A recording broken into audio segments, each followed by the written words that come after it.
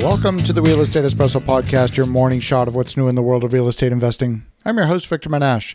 If you're loving what you're hearing on the Real Estate Espresso Podcast, go out and tell two friends today. Show them how easy it is to subscribe to the show. It's available on more than 20 different platforms.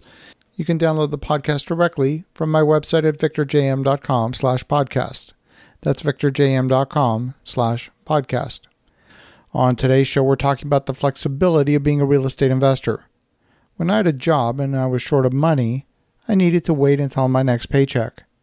If I really wanted to increase my income, I had to wait until I got a raise or perhaps a promotion. I could take initiative as an employee, and my employer would be appreciative of the extra effort. Somewhere down the road, I might get a raise or a promotion. Someone else was always in control of the process. There was no direct connection between my effort, the creation of value, and the financial compensation for that extra effort. After all, that's the difference between an employee and an entrepreneur. Then, about 10 years ago, I made the switch from being an employee to a full time real estate investor and developer.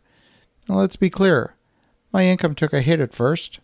I'd saved a bunch of money hoping that my business would take off before my savings ran out. Now, somewhere along the way, I came to the realization that each of the projects by themselves could generate some income. Some projects invariably ran into delays, and the income I was expecting from those projects didn't materialize. It was tempting to go back and get a steady job with a six figure income.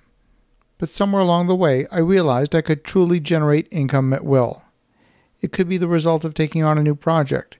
If I needed an extra 5000 bucks, I could host a weekend workshop that might deliver something of value to my network.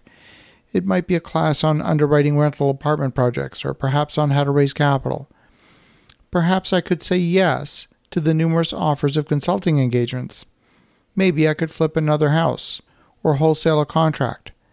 I could, in fact, generate income at will. So here we are in the year 2020. Tens of millions of people are out of a job, but the vast majority of them are waiting on the sidelines, waiting for someone to hire them, waiting for someone to discover their hidden talents. And that process involves sending out resumes to hundreds of places, hoping that your resume gets on the short list and maybe you're invited for an interview. See, I've been that hiring manager many times, and when I post a job these days, I'll usually get 50 resumes within a day or so. Of those, maybe four or five are a good fit and worth calling in for an interview. There have been times when I had to review 600 resumes in a single resume review session. When there are that many to review, you really don't have more than about five seconds to spend with each one. I feel badly for those folks who took the time to send out their resume. We can't practically respond to all of them. For those who are looking to generate income, there's an awful lot of waiting involved. Let's contrast that with the world of entrepreneurship. In my world, income involves solving problems. And if that sounds abstract, let me make it more clear.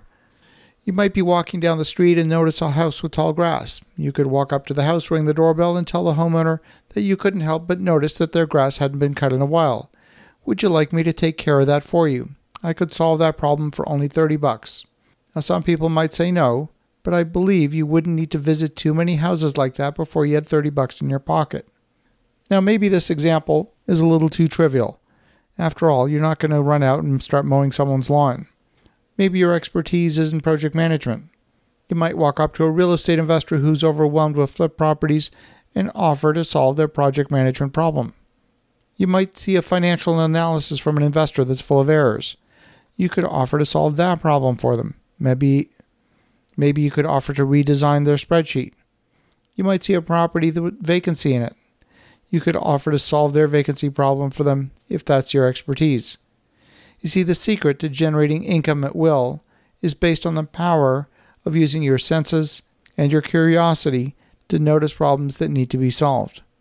And finally, you need to be able to muster up the guts to go ask the owner of the problem if they are willing to spend money to have their problem solved. Now, right now, we have many more problems than we anticipated for 2020, and that means the opportunity to generate income at will is far greater than it's been in a long time. As you think about that, have an awesome rest of your day. Go make some great things happen. We'll talk to you again tomorrow.